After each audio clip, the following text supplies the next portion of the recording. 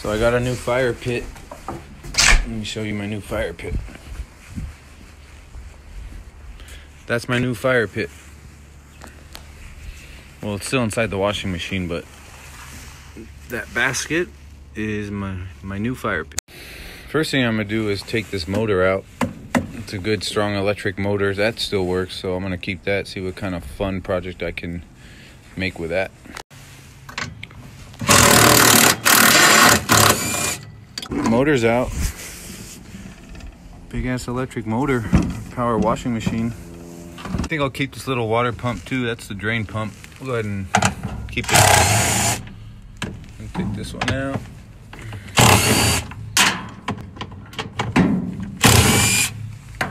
Out. We're good. All right, I got the pump out. Can make an evaporative cooling fan with this on those hot summer days just for fun. Nice. I'm gonna keep this capacitor too. That could come in handy. There we go. Yeah. 60 microfarads.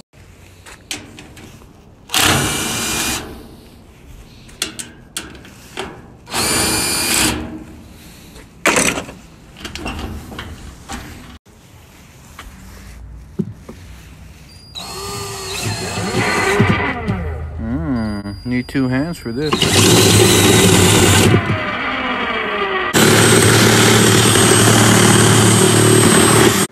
A little bit more to go.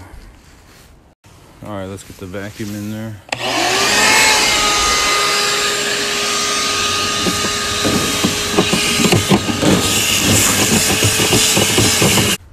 All right, I see a bolt. I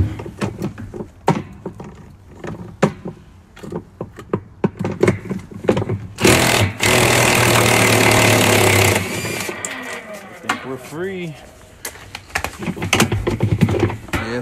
Yes, are, buddy. There's our fire pit.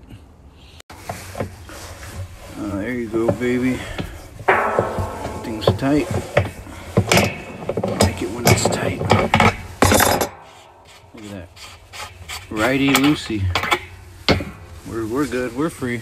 There we go. There we go. Come on. One handed. There we go.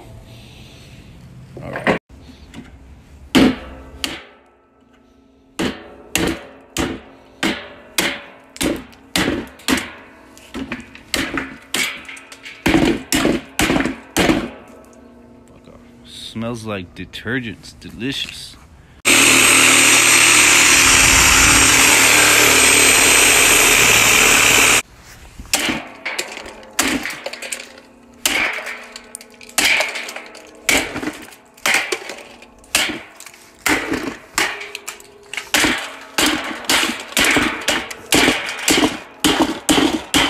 Good fun.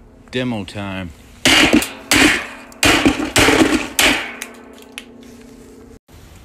All right, so this turned out to be a bigger project than I expected. So this is supposed to be a fire pit, right? It's better than my old one, which I made from a washing machine also, but this one's way bigger.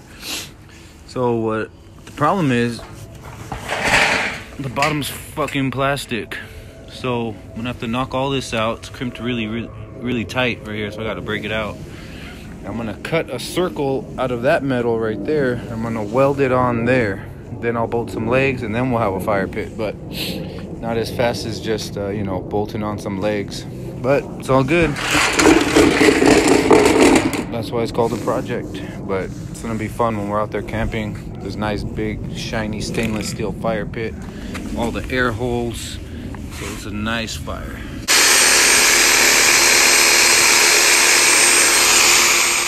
See the cuts? Sledgehammer time right there on this one, I loosened up the crimps. So it's coming out a little bit better. Oh, look at some blood. I did cut my finger. And then my wife called me a savage. Hurt my feelings though. There you go. So much. I like demo.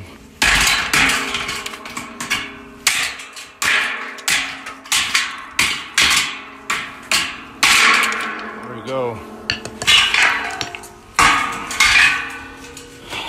Future fire pit. And that's smoothing out those crimps. And uh,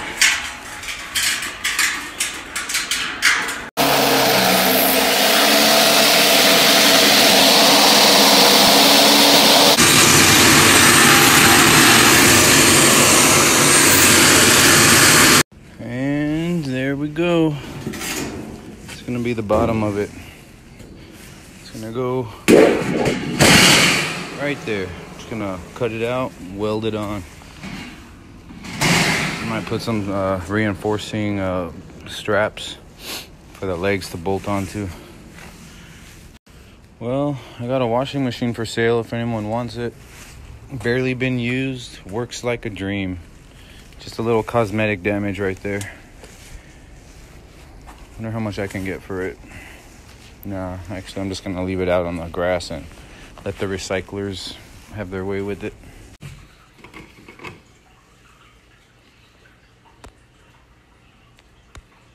There's a cat in my yard. Two cats. Ooh, it looks pretty muscular. If I feed them, they're mine.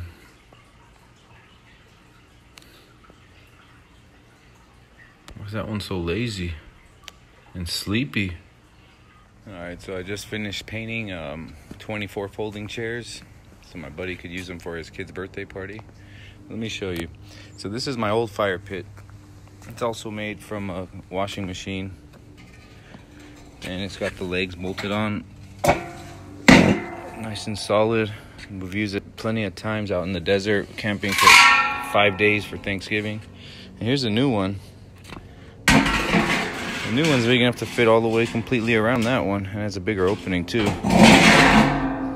So um, I was thinking of taking off these these legs and putting them on that, but these are so rusted, they probably just stay on that one. But this thing's put in a lot of work. It's a great campfire. You can sit next to it and put your feet underneath and get toasty when it's 30 degrees. And this piece here is the part I cut out of the the body of the washing machine. But it's kind of flimsy. So I might just use something else.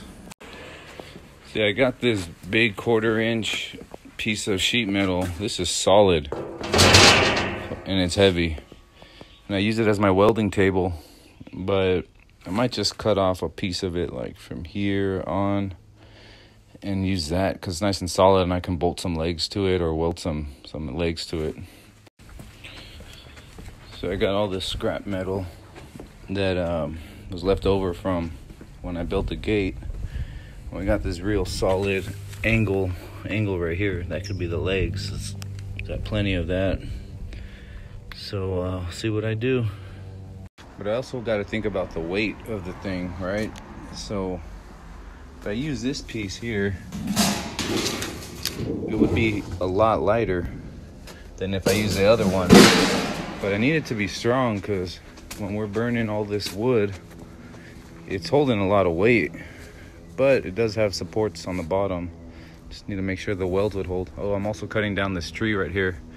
This tree's coming down. It's half dead and it's just in the way and it doesn't give me a flat um, flat yard because it just lifts up the dirt all around and the roots are all far. So this tree's on its way down. Another thing to consider is that on this fire pit, the holes are closer to the edge here, but not over here. And I think I'm gonna make this the bottom because on a really windy day you don't want too too much air on your fire. So this will keep those uh, bottom coals with a good flame. So now I'm gonna do a test weld so I can get the speed and the wire speed right. Here we go. Okay, so this is what happens when the power is too high. It burns right through the metal. So time to turn it down.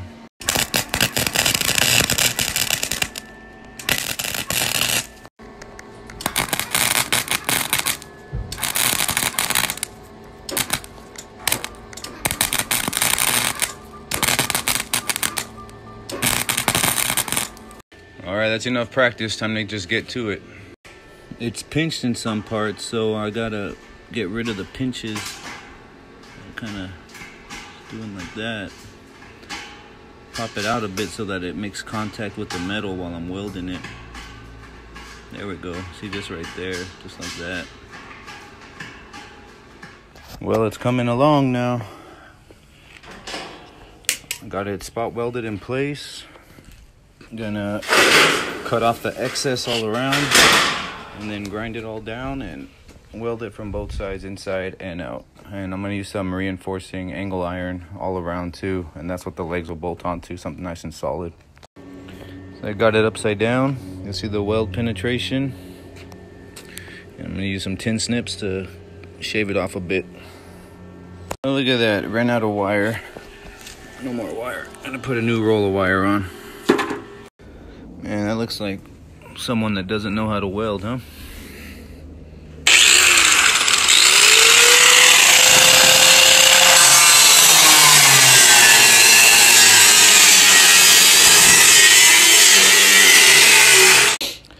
All right, we're getting there. I shaved off some of the excess and gonna finish welding up all around the inside and uh, keep it going.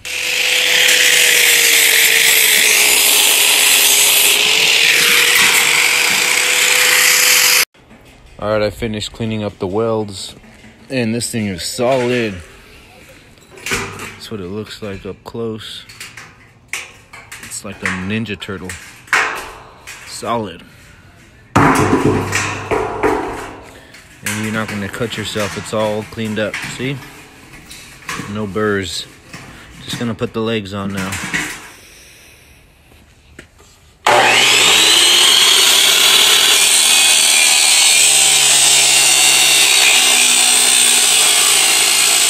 Alright, there's the three legs. I cleaned up all the edges so they weld easier, better.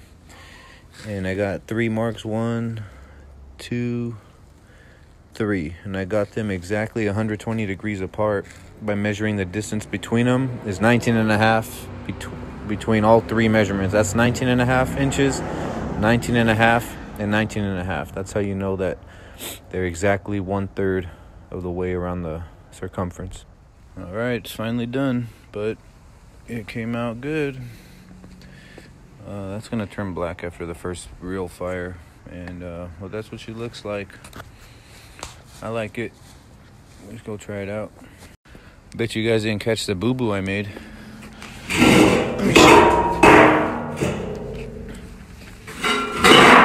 See that? yeah, after you start welding and you had it flip flopped on there, too late to cut it off, so welded on an extension. But that's cool. Gives it some character, I guess. Shouldn't be. Uh, that's why I shouldn't be drinking while I'm working. But then again, if I wasn't drinking, then I wouldn't be working. All right, here's the before and after. So that's my old one. I mean, I've made that like three or four years ago. It's put in a lot of work. To this, I like it. It's an upgrade, a little more classy.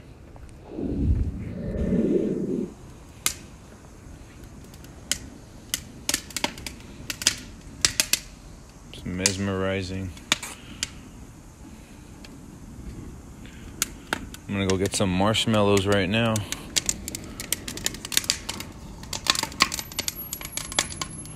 It's whistling. The branches are whistling.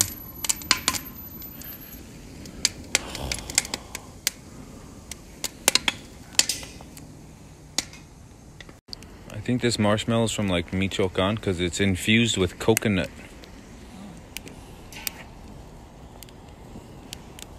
See if it burns like a regular marshmallow. Oh shit, it's already melting. Yum.